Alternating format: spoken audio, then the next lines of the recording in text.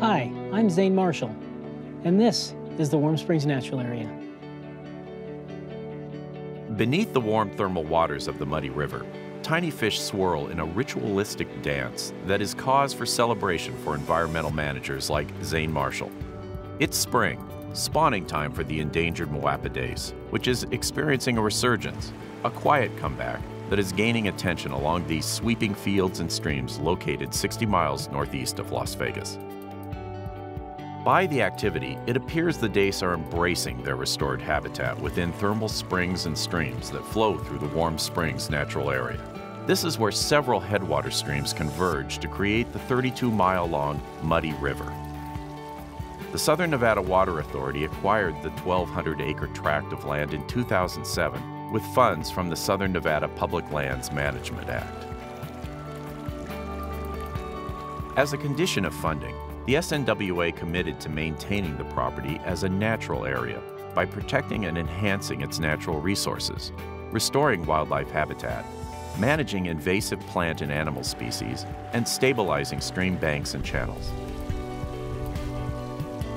The complex of springs and streams provide unique habitat for the Moapa dace, a tiny, endangered fish found nowhere else in the world but in these warm spring waters.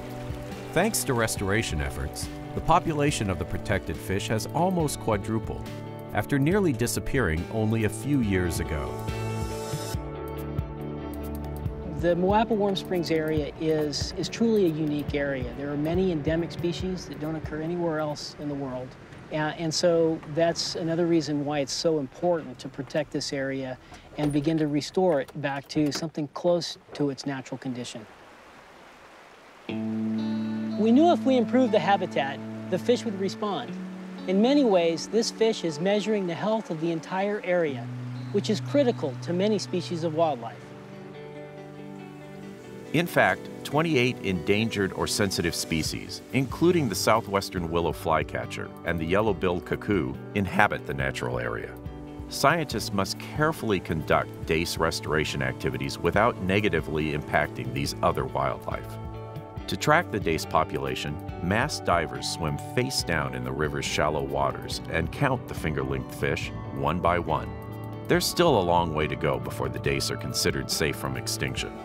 Listed as an endangered species in 1967, the dace population dropped to fewer than 500 in 2008. Their rapid decline in the variety of sensitive habitat in the area drew attention to the need for a management plan.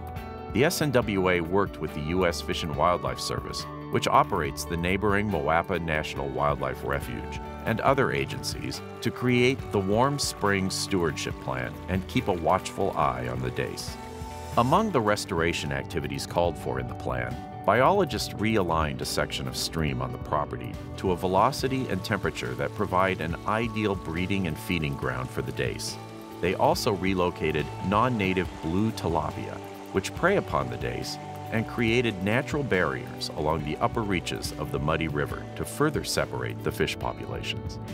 As the dace swim along the tributaries connecting the Warm Springs Natural Area and the Wildlife Refuge, visitors can watch the journey through a special viewing chamber open on the refuge, fall through spring.